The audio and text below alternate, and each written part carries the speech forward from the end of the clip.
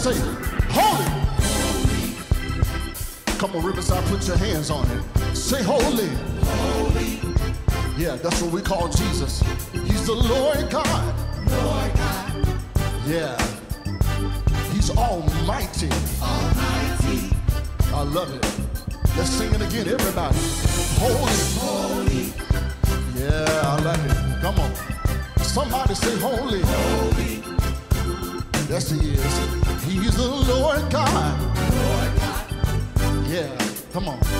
He's almighty. Almighty. This is what we say. Come on. Say heaven. heaven. Yeah, and earth are.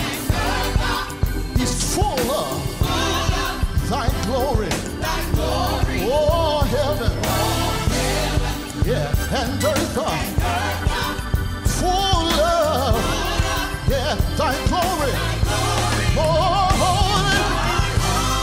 Yeah, and righteous is your name. He's omnipotent. He's glorious. Yes, he is. Say, holy. Your name. Come on, Riverside. That's the whole song. Let's do it again from the top. Holy. I you stand on your feet and do it with us. Come on. Somebody say, holy. holy. Hallelujah. He's the Lord God. Hallelujah. He's Almighty God. He's a mighty wonder, mighty Savior. One more time. Say holy. Holy. Hey, I like it. I like it. Come on. Say holy. Holy. Yeah, he's a wonderful God. He's the Lord God. Lord God. Yeah. He's almighty. Almighty. Let's do that other part again. We do heaven. We join with the heaven and earth. Full of thy glory. Oh, heaven and earth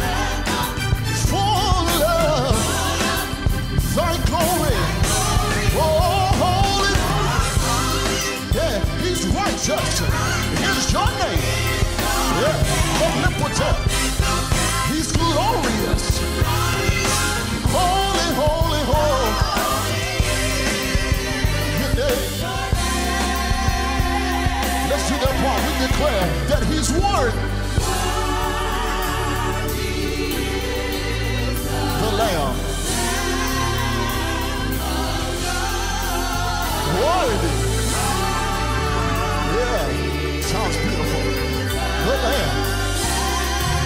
Of God. Come on, He is worthy. Come on, put your hands on the glory. Yeah, and honor and power. You are. Yeah, of glory. Yeah, and honor and power. I feel a new version. Lord, we praise you. Yeah, we praise you come to give him praise today. We praise you, Jesus. We magnify you.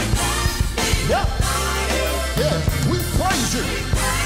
We give you all the praise. Yes, we do. Oh, yeah. Yeah. And Dartha, uh,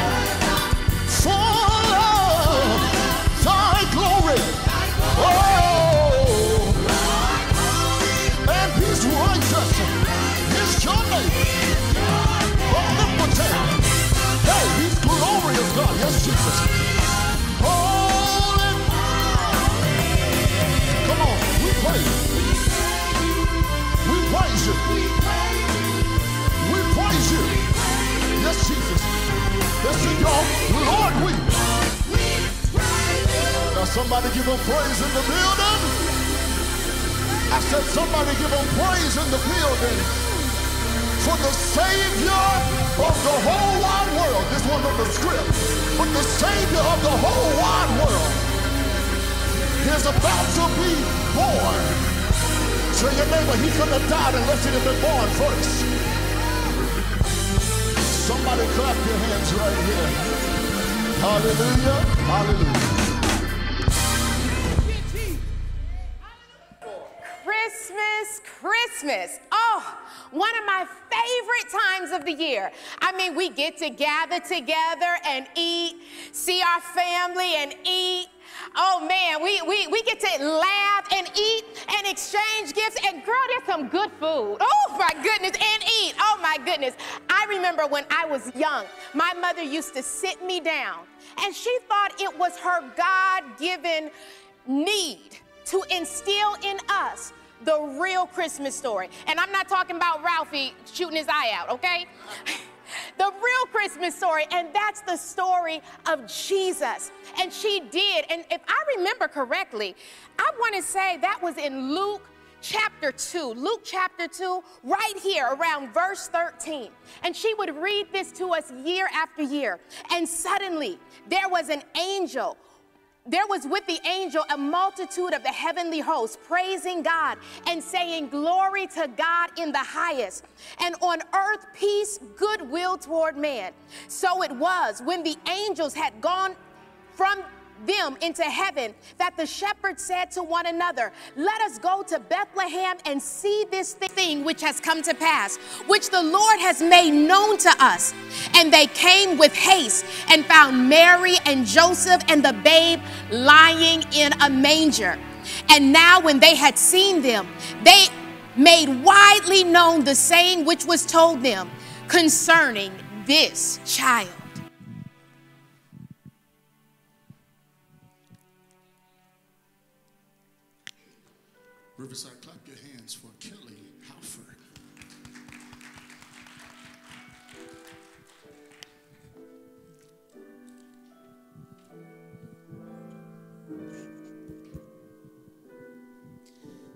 The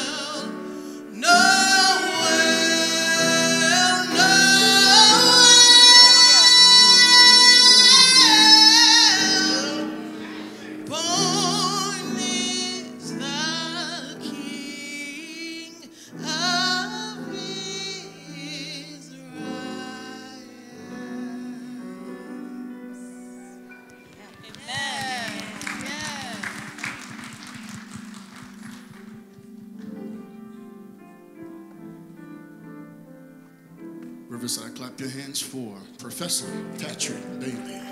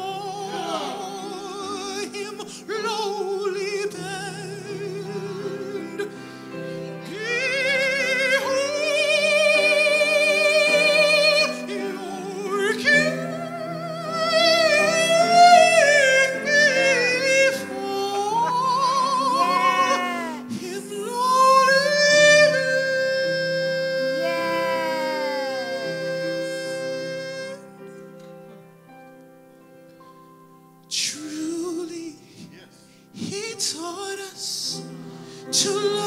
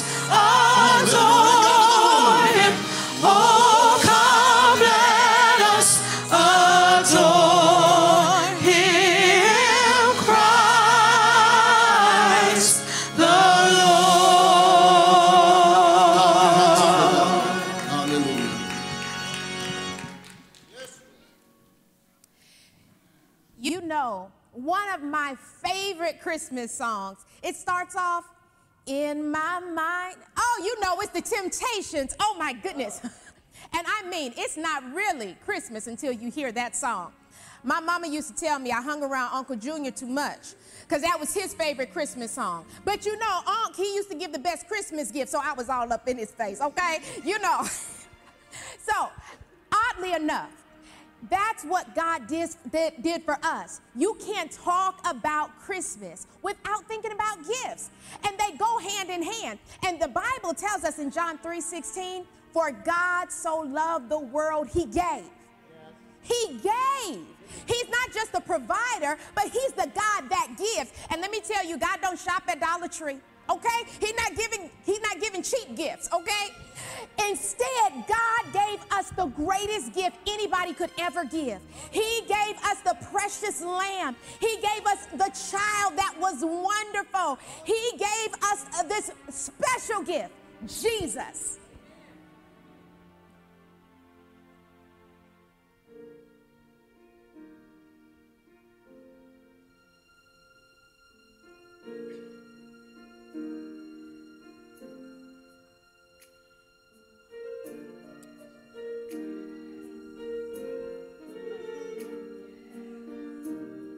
Let's be one big choir.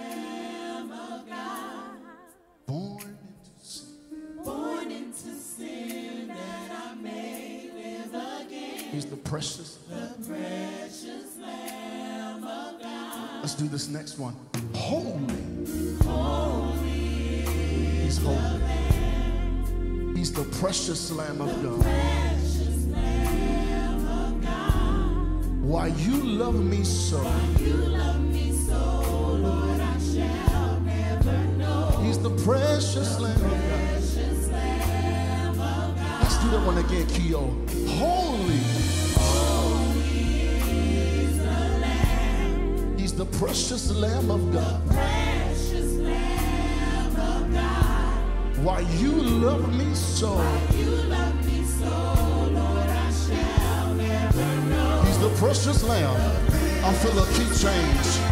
Can we just tell God, say thank you for the lamb. Hallelujah. He's the precious lamb of God. Yeah. Because of your grace, I sure can finish this race.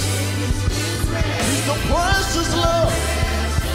Let's just go ahead and get to it. Say oh. Oh!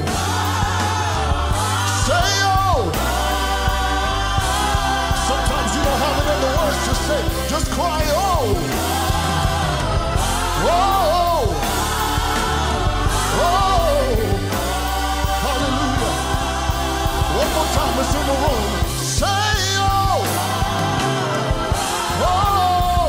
That's it. Oh! Now somebody worship the Lamb of God in the room. Hallelujah.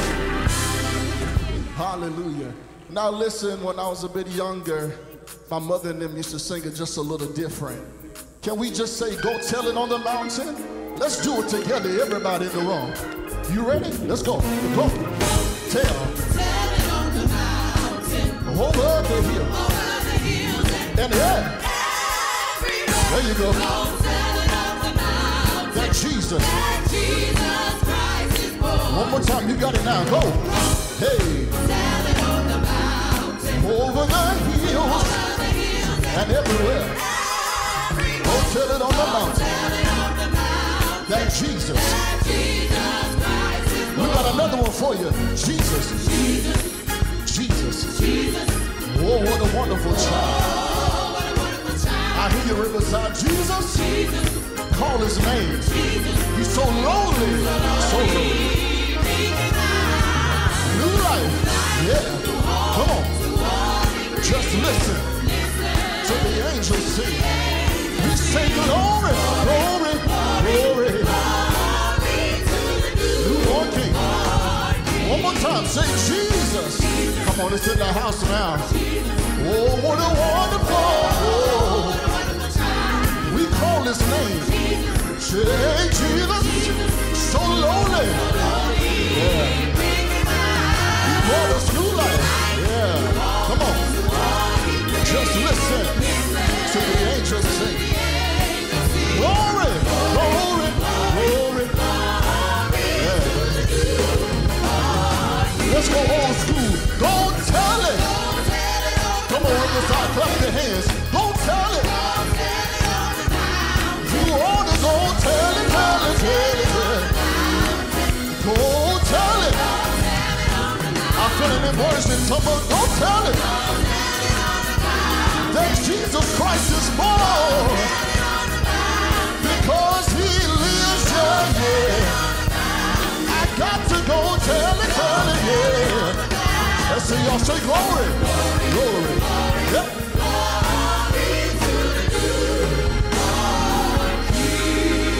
Now somebody clap their hands and people gonna tell it on the mountain that Jesus Christ is born. Now look at your neighbor, say neighbor. Neighbor, Oh, come on, don't fool me. Say neighbor. neighbor, Jesus Jesus, is a special gift. Let's go. Oh, heaven sent me.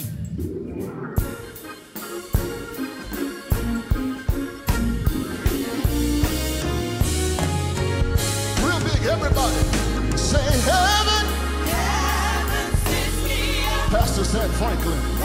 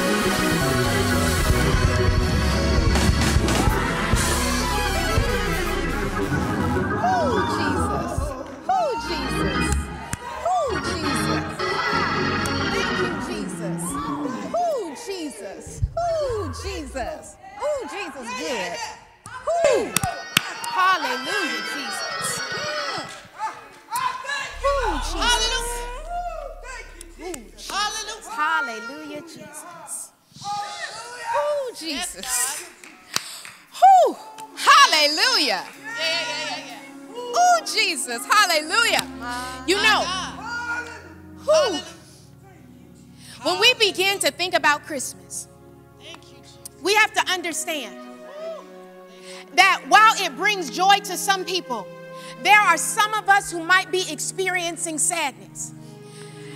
Now, honey, you get a little Jesus, honey, he'll make it better, okay?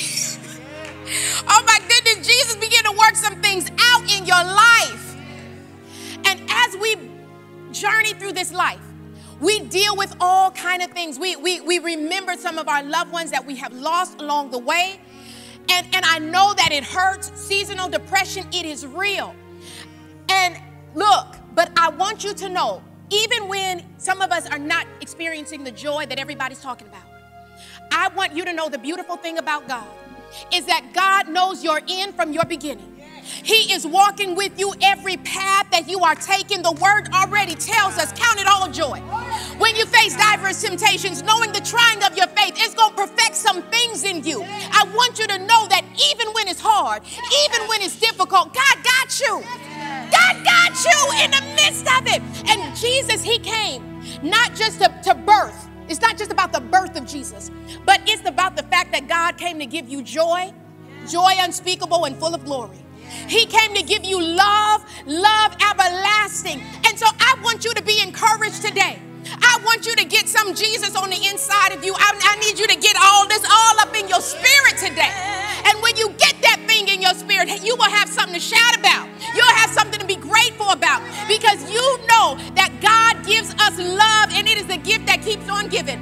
Over 2,000 years ago, Jesus went to the cross and he went because of his love. So as you are in the hustle and the bustle of this season, go ahead and remember the best gift of all and it is God's love for you. Riverside, clap your hands for LaShonda Evans.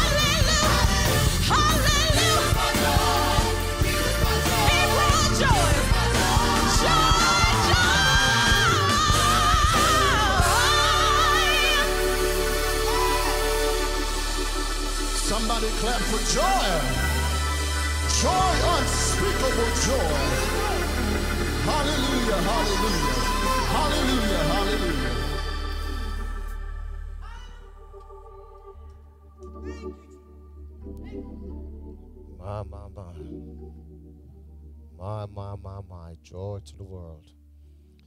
What a joy it is, ladies and gentlemen, brothers and sisters, that we can come this pre Christmas morning to celebrate one of the greatest gifts this world has ever seen, received. I don't know about you, but if you think about it, there's some gifts that you will receive on tomorrow that they're just for that time, for that moment. Next year, this time, those gifts would have either expired or be used up. Do I have a weakness? There's some gifts that you have, they're definitely not timeless. They might be expensive, but they're not priceless. But the gift that we celebrate this morning is a t- priceless gift and a timeless gift. What a joy that is that we can receive that gift this morning. For the few moments we'll talk together this morning, I want us to look a little bit on continuing our theme from last week on fear not, fear not. We want to talk a little bit about this gift that I believe that God has given to us that can eternally impact our lives. The gift of God through Jesus Christ our Lord not only gives us a brand new hope for a future, but gives us the hope of eternal life. Can we talk about that a few minutes and then I get you out of here? I know some of you are thinking about um, the game today, but I'm gonna. We need a win. We definitely need a win. But I don't want you to jinx the game now. Don't jinx the game. Don't look at the score. It's gonna be the same. Don't don't don't look at just just ignore it for a moment. Because uh, I believe if you look at it, you're gonna jinx it. So don't do that. Amen. Just just just let it wait until the end of the sunset, and then we we, we, we can look at it. Uh, let me ask you, if you will. Would you mind standing with me this morning? Let's read the Word of God and then we. I want to bring to you this morning a very familiar passage. Comes to us from Matthew chapter 1. In my Bible, it says this is the story of Jesus. I want to read to you verses 18 through 25. Now let's read those together. Verse, starting at verse 18. I'm reading from the New Living Translation. Maybe on the screen it would be King James, and in your own Bibles, just follow along with me. This is how it reads in my Bible. Now, the birth of Jesus Christ was as follows. When Mary, his mother, had been engaged to Joseph, before they came together, she was found with child, child by the Holy Spirit. Joseph, her husband, being a righteous man and not wanting to disgrace her, planned to send her away secretly. But when he had considered this, behold, an angel of the Lord appeared to him in a dream, saying, Joseph, son of David, be not afraid to take Mary as your wife, for the child who has been conceived in her is of the Holy Spirit. And you shall, she shall bear a son, and you shall call his name Jesus, for he will save his people from their sins. Now, all of this took place to fulfill what was spoken of by the Lord through the prophet. Behold, the virgin shall be with child and shall bear a son, and shall call his name Emmanuel, which is translated God with us. This is it. And Joseph awoke from his sleep and did as the angel Lord commanded him, took Mary as his wife, but kept her a virgin until she gave birth to a son. He called his name Jesus. Can I drop this in your spirit again? This is it. I want to zero in on this verse. And Joseph woke up from his sleep, did as the angel commanded, took Mary as his wife may be seated in God's presence. My Father,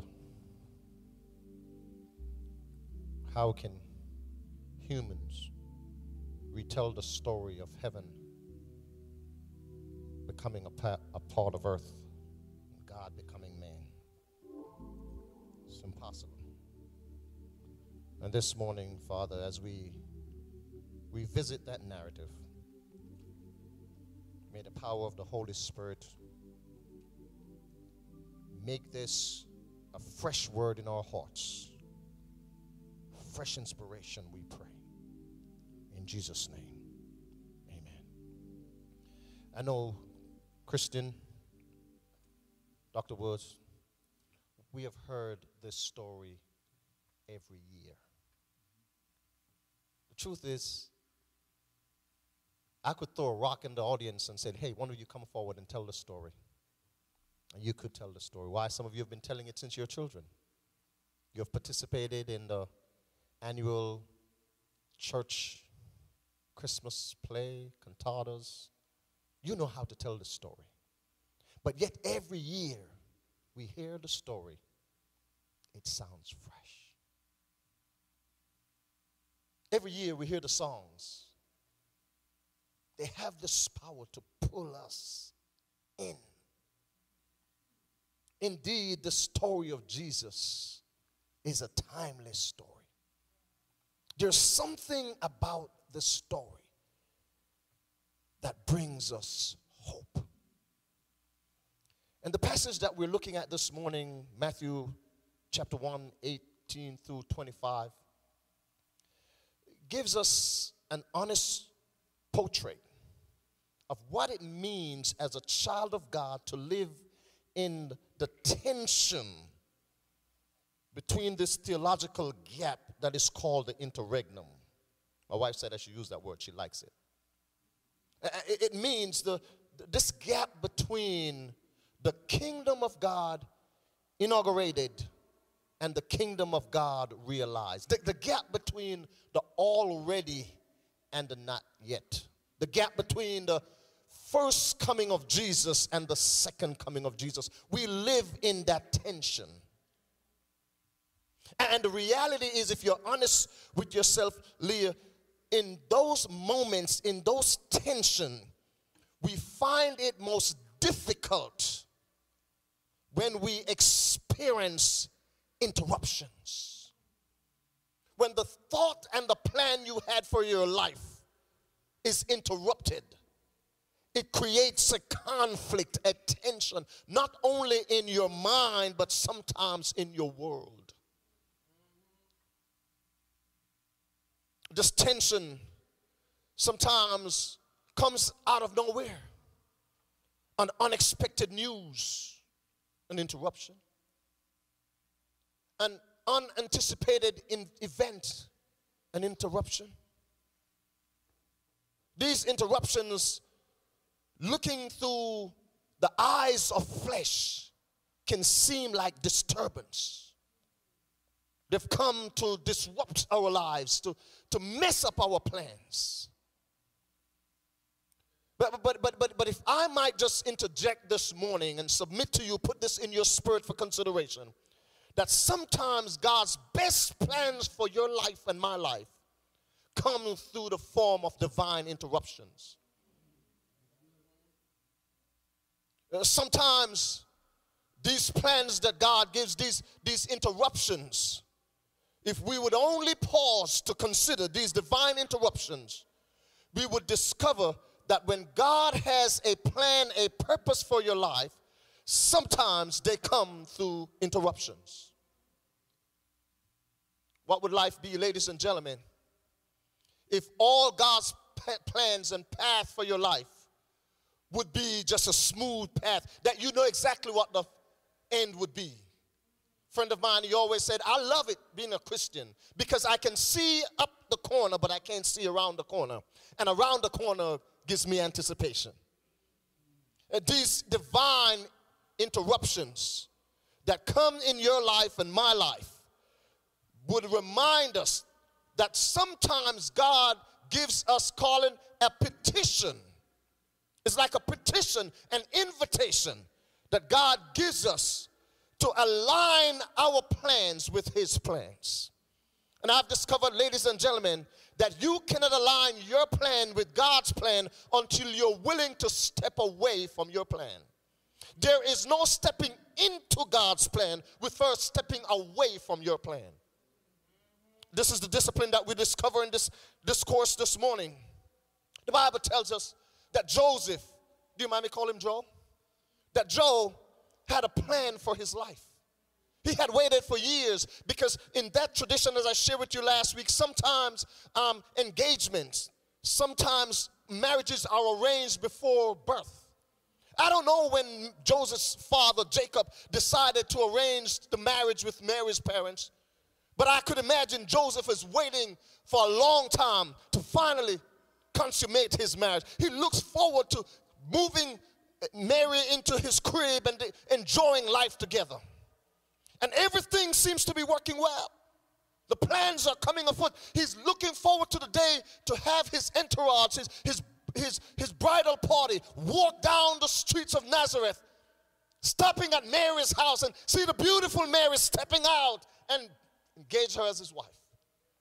Mary decided that somehow she wants to take a break, a vacation. She's going over to her cousin. And she goes over to her cousin and three months later, Joseph hears she's coming back. Can you imagine the excitement in his heart? Mary's coming back, and the wedding is a few days from now. But when she comes back, she gives him this unexpected news, this interruption. I'm pregnant. You're gone for three months, and you return with the news you're pregnant.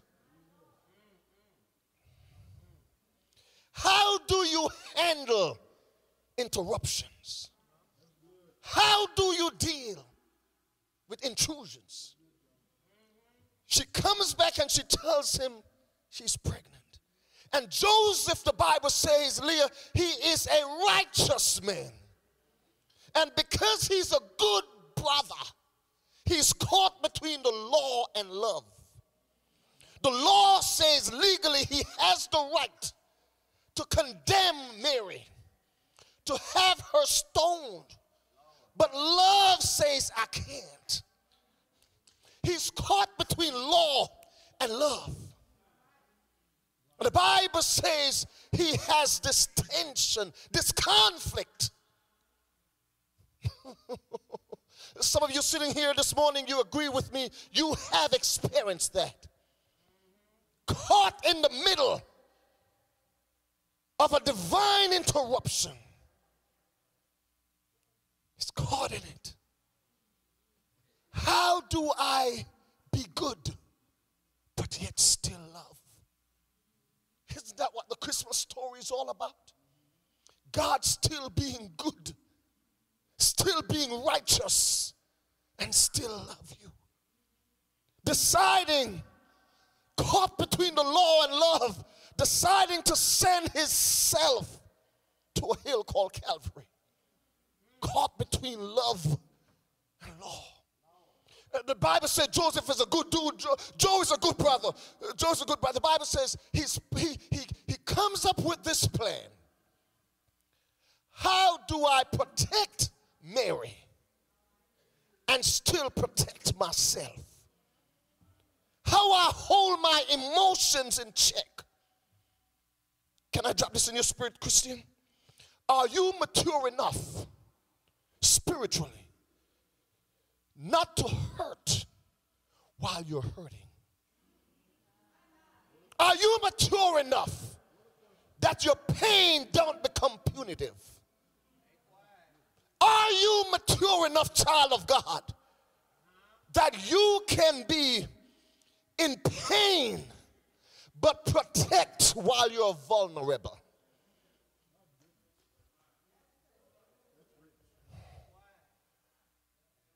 He can do it. Disgrace her. How dare you come back after three months with a story about a Holy Ghost?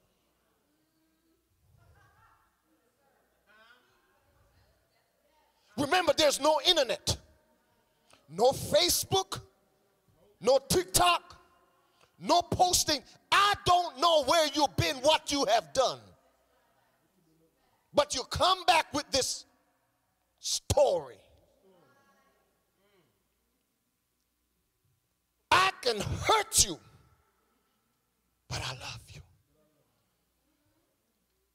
So Joseph is thinking about this. How do I find two people that can support me, protecting Mary, even though I'm tore up from the floor up?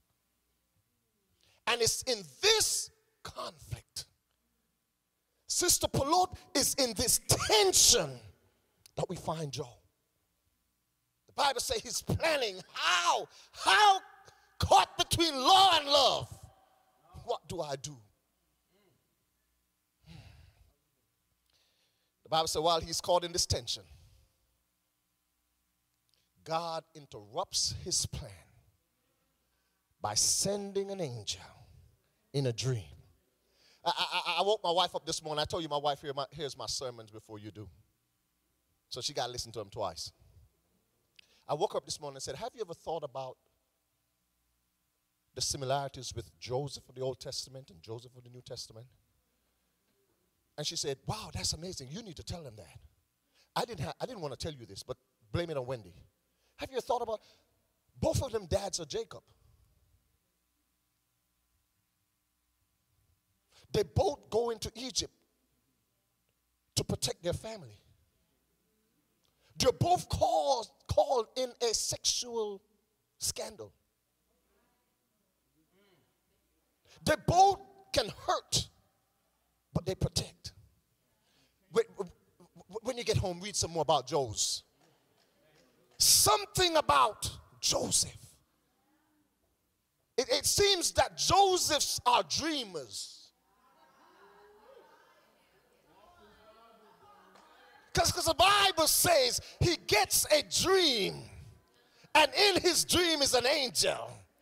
And the angel says to Joe, don't you worry. I got this and I got you. And that's the word on the street this morning.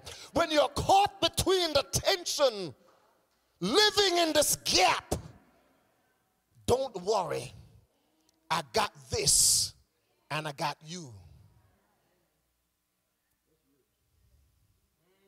And the Bible says the angel had to assure Joseph.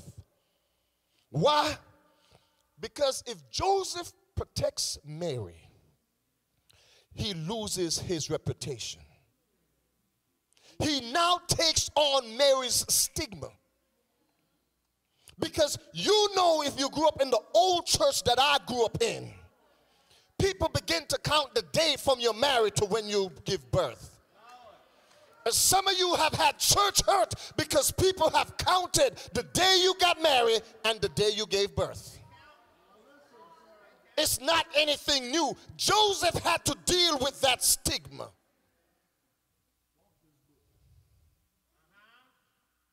His reputation is at stake. Can, can, I drop this? Can I drop another thing in your spirit real quickly? If you are obsessed with what people think about you, it's a guarantee you'll forget what God thinks about you. and you are not you are not ready to be used by God if you are more concerned by the, the criticism you will experience for being obedient. Can I say that again?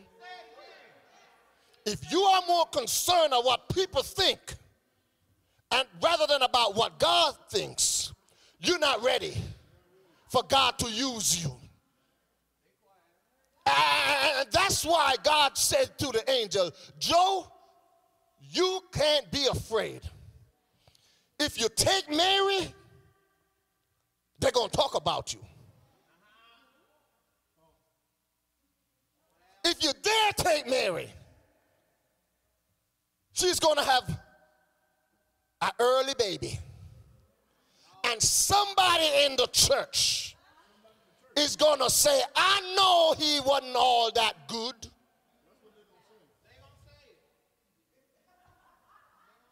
He around here fronting. He ain't all that righteous. As a matter of fact, that's why Mary had to go away. He knocked her up. Joe, if you dare be obedient, You have to always that obedience comes with sacrifice. And the biggest sacrifice sometimes might be you. Mm. But, but this is it. I'm done. I'm done. It's Christmas Sabbath. I know you got to go home. I got to get home too. My daughter just came in this morning. This is it. And I get out of your way, Dr. Woods. Every person who God used in the Bible at great levels have said these words. If you go back to Genesis 6, you'll see it and follow all the way. These words are famous when God's going to use you. Do you ready for are you ready for it? And Joseph got up and did all that the angel commanded. I wish I dropped the mic. Yeah. Joseph got up and did all the angels commanded. Mm, I got to say it again. Joseph got up in the tension. He gets up and said, I'm willing and ready to face my tomorrow based on what God said. And I did challenge somebody this morning that if you want to see God work it out for you, just decide I'm going to stand on the word of God. Go back and read the story for yourself. Joseph has over 300 prophecies that he has to fulfill. And in his human power, impossible. He's in Nazareth. Jesus must be born in Bethlehem. He's in Nazareth. Jesus must come out of Egypt. He's in Nazareth. Jesus must be called a Nazarite.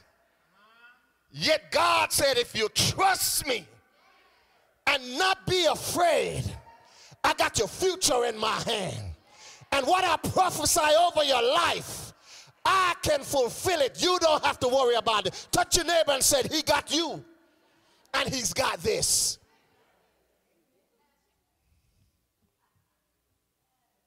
I like how Luke, Christian, this blows my mind, Lynn. This blows my mind, right? I'm reading this narrative, and I drop into Luke chapter 2. And Dr. Luke, he says, and Joseph journeys, verse 5, journeys down to Bethlehem. And he took Mary. But he doesn't say his wife. He says he took Mary, whom he's engaged to.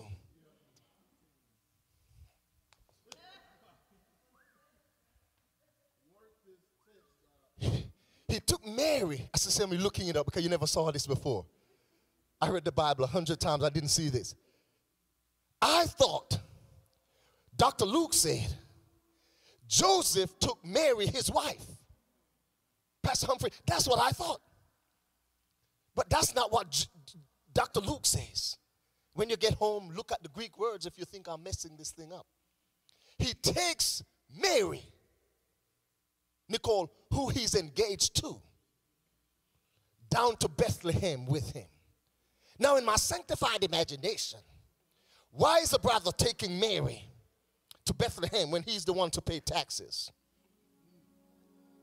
But if you are obedient, sometimes you have to step out and do some crazy things to protect that which you are committed to. I, I believe if, if, if he had left Mary home, maybe somebody would get in her head. Her, I don't know what would happen. But the Bible says he takes Mary, whom he is engaged to. Because Dr. Luke wants you to know that even though he stepped in by faith, Kay, and moved in with Mary, he still protected her until Jesus was born.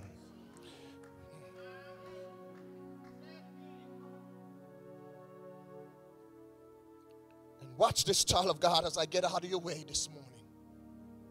Eddie, watch this. He surrenders his future to the command of God. I'm talking to somebody this morning. Because God has asked you to do something. And somehow you are afraid.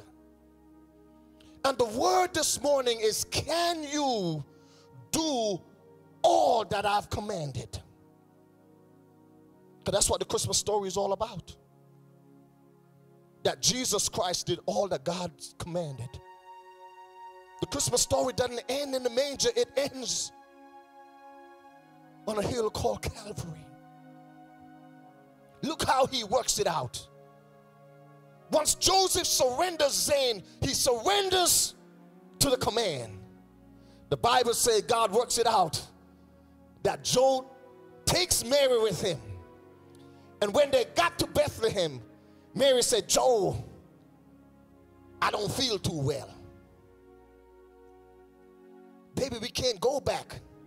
It's a long journey home. Joe, I ain't talking about COVID or the flu. I think the baby is coming. Baby, baby, baby, we don't have nowhere. Could it be that the reason why they did not have family to help was because of the stigma? Because Joe is from Bethlehem. If I leave here to go back to Jamaica, I must find me one person down there. Could be a fifth cousin. Because all my family ain't move over here. Could it be the reason why there was no room was because nobody wanted to deal with the scandal?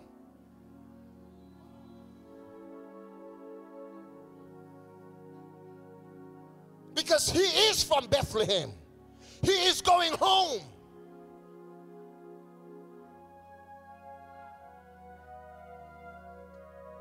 But sometimes when you step out in faith to the command of God, that's some of the issues you have to deal with. That's real talk. But look how God works it out. There is a manger waiting. There's no room anywhere else. But God prepares a room for his child. And I do believe this morning there is a room prepared in somebody's heart for this child this morning. There's a room for the gift this morning. Look how God works it out. Herod is going to kill all the babies. God works it out that Joe gets another dream and he moves down to Egypt. God works it out. But while he, he's in Egypt, he gets another dream to move back to Bethlehem. He's on his way to Bethlehem. He gets another dream, Dr. Brown. Don't go there, go to Nazareth. When you surrender and align your future with God's plan, He will work it out. I know He will. Won't He do it? I know He will work it out. Child of God, Corey, you can come up. I'm out of your way this morning.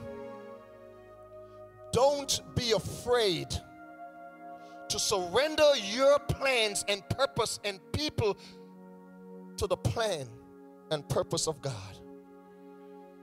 If you are willing to surrender your plans to God's plan, I know He will work it out. How do I know that? Because on a hill called Calvary, He worked out my salvation. When it seemed like all hope was lost, love lifted me.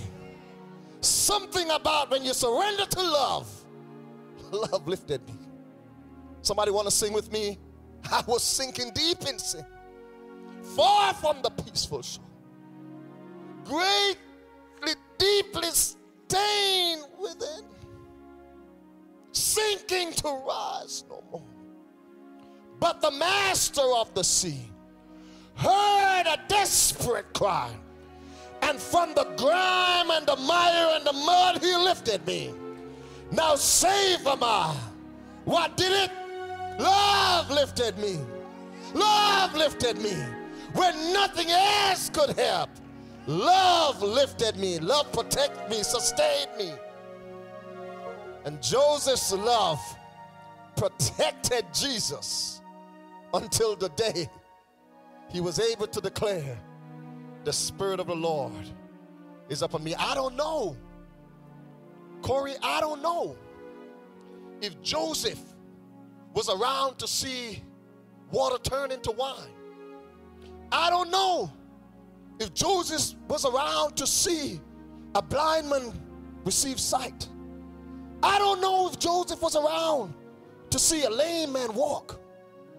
Because the truth is, Joseph never spoke. He never uttered a word in the Bible. Did you know that? He's spoken to, spoken of, spoken with. But Joseph never speaks. Joseph acts. Somebody this morning needs to act. This is the word. This is the word. And Joseph got up and did all that the angel said. Is there a word that you need to act upon this morning? Are you afraid because of the future? Don't be afraid. I got this and I got you.